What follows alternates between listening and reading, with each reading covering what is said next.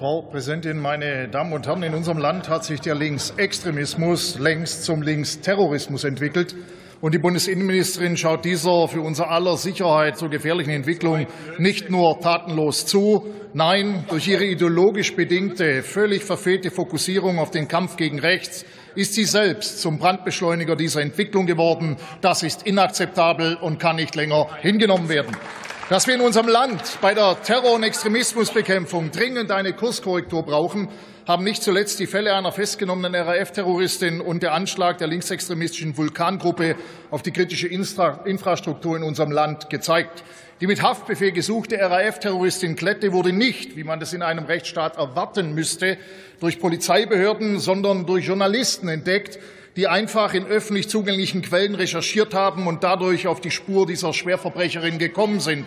Denn die, diese Staatsfeindin lebte mitnichten im Untergrund. Sie hat völlig ungeniert am normalen gesellschaftlichen Leben teilgenommen, hat Nachhilfe gegeben und war Tanzlehrerin. Und trotzdem war sie für unsere Sicherheitsbehörden unauffindbar. Und die Innenministerin erdreistet sich allen Ernstes, diesen Erfolg dann der eigenen angeblich so erfolgreichen Sicherheitspolitik zuzuschreiben. Frau Faeser, die jetzt leider wieder mal nicht da ist. Für wie blöd halten Sie eigentlich die Bürger unseres Landes? Die Wahrheit ist, dieser Vorgang ist ein Armutszeugnis für unsere Sicherheitsorgane und zeigt die ganze Dysfunktionalität unseres Staates in diesem zentralen Sicherheitsbereich. Und das muss endlich ein Ende haben. Und das belegt auch das staatliche Agieren in Bezug auf die linksterroristische Vulkangruppe. Diese hat zuletzt in Brandenburg einen Brandanschlag auf einen Strommasten verübt, der durch den erzeugten großflächigen Stromausfall nicht nur Hunderte von Millionen Euro Schaden im dortigen Teslawerk verursacht hat, sondern vor allem auch zu einer Lebens- und Gesundheitsgefahr für Patienten in den vom Stromausfall betroffenen Kliniken und Arztpraxen geführt hat. Supermärkte konnten über Tage nicht beliefert werden. Aber das war nicht der erste Anschlag dieser Gewaltverbrecher. Diese Terroristen verüben seit 2011 solche Anschläge auf unsere kritische Infrastruktur. Und die letzte Sitzung des Innenausschusses hat klar und eindeutig ergeben, dass bis zum heutigen Tage nicht ein einziger Tatverdächtiger identifiziert, geschweige denn festgenommen worden ist. Das ist ein sicherheitspolitischer Skandal. Noch blinder kann ein Staat auf dem linken Auge gar nicht mehr sein.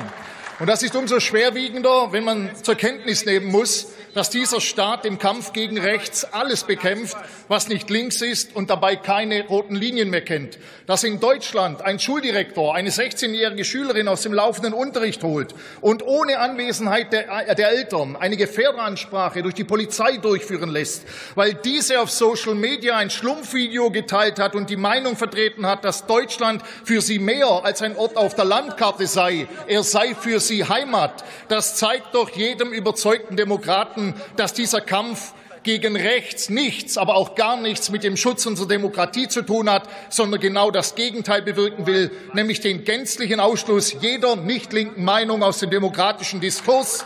Diese linksgrün-roten Politkommissare betätigen sich damit als Totengräber unserer Demokratie, Herr Hartmann. Und dass sie sich jetzt sogar an unseren Kindern vergreifen, das dürfen und werden wir denen niemals durchgehen lassen.